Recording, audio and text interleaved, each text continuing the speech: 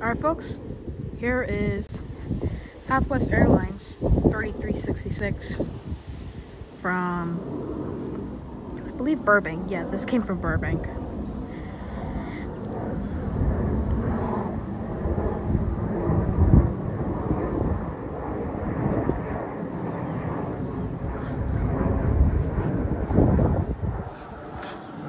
Alright.